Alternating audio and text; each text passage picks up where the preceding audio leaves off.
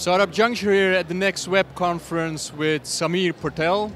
Uh, Samir Patel is president and CEO of Growth, uh, Growth Machines and he is a mentor at 500 startups.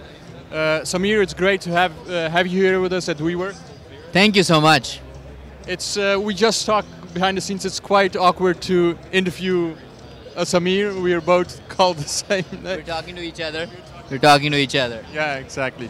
Uh, Samir, my first question uh, uh, would be uh, you just met uh, the president of Bulgaria. It's your first president. Yeah. Do you think more presidents will follow, and how is it to meet a president? Yeah, it was great to meet the president, and I think hear from them on how um, innovation and digital growth is so important for um, emerging economies, and um, and I think it, is, it was a wonderful time for me. It was a country that um, you know I wouldn't have visited otherwise, but uh, because of my work, it got me there. So. Great. So you're the, the, the president of, of Growth Machines, and it's about helping startups understand how they can grow their business. And for, for startups, that's maybe the most important thing, of course, after you hit product market fit. So uh, the, the, first question, and maybe the most important question, is how do I build my growth machine as a startup? Oh, great question. So you know, it's uh, I talk about um, the five P's framework. So I came up with this framework that helps startups as well as actually large companies and corporates. So we work with both. But for startups, they would do different things, right? So uh, the five P's are uh, purpose, uh, plan, people, uh, and process and platforms, right? So the idea is to have a very, very clear purpose and a big purpose that attracts a lot of people to your uh, company. Then you need to have a very clear quantitative plan on whether you want to exit, whether you want to make it profitable. You know, what is your goal as an entrepreneur? And once that is quantified and clear, you can hire the right team. You know, and these days, as you know, the right team is like the people who you know, nice combination of a d- uh, designer, hacker, and a hustler. You know, like great designer and I think somebody who knows Uh, hipster. Uh, and the hipster. yeah, and once you get the people right, it's about you know running these experiments after product market fit to figure out what channel is going to help me scale the most with the you know least cost, right? So then you're running a bunch of series series of experiments, and we call it a process to figure out the next steps. And the last And one is just what software to use, to what kind of software technology you need to use to help you scale. So those are the five P's. and it's, it's, it's related to growth hacking, isn't it? Sorry. It's related to growth Yeah, hacking, or it's by definition growth hacking. Yeah, it's by definition growth hacking because growth hacking is ultimately like thinking, it's more of a mindset, right? And where you are thinking like, okay, I am a, you know, I'm a little startup, I have less resources, but I'm passionate, and how do I do, uh, how do I beat out the big guys, right? So it's about David versus Goliath or like, um, you know, trying to figure out like uh, guerrilla warfare, right? I don't have a big army, I don't have tanks, I don't have this, but I need to just figure out how to do it with less. So, and then, then using technology and automation. So, yeah, definitely a lot of growth hacking going on.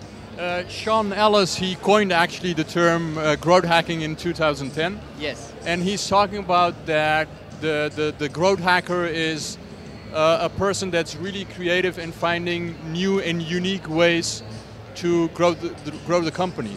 Yes. So from that perspective, what are, in your opinion, right now at this moment, really interesting and new ways with which you think uh, companies can grow their their uh, their startup? Yeah, so for startups, I would pretty much look at the new emerging platforms. So because as you're seeing, as like mobile is coming on, you're seeing like Tinder, which is a dating site, completely taking off because they really got mobile, right? The new platform to watch out for is Apple Watch platform and the software and the hardware associated with it.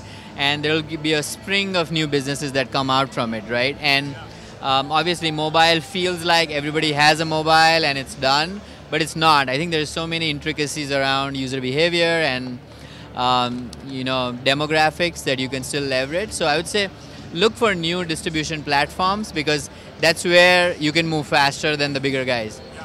And and do you have some secret distribution platform names for us, which are not that obvious and not used by by by by, by normal companies? Yeah, so I mean, I think there's two. One is, like I said, the, the Apple Watch platform is the one to huge look out for, right?